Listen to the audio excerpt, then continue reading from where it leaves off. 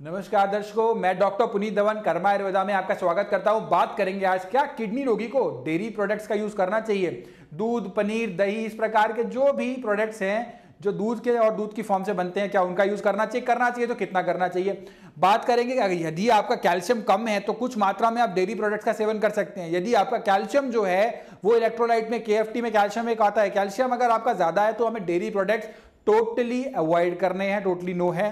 Calcium कम है तो कुछ मात्रा में सेवन कर सकते हैं, लेकिन किसी एक डेयरी प्रोडक्ट का सेवन करना ज़्यादा बेटर है। इंस्टेड ऑफ़ दूध, दही और पनीर में से अगर आप किसी एक चीज़ का सेवन करें, कम मात्रा में करें तो वो आपका कैल्शियम भी, जो आपका कम हुआ है, वो भी बढ़ाएगा और साथ साथ आपको हेल्प भी करेगा। तो उसके लिए आपके कितना कैल्शियम कम है, कैसे कम है, उसके लिए आप संपर्क कीजिए हमारे नंबर्स पर और जानिए। अगर आपका ट्रीटमेंट चल रहा है तो भी नहीं चल रहा तो भी आप कॉल कर सकते हैं और जान सकते हैं आपके लिए डाइट।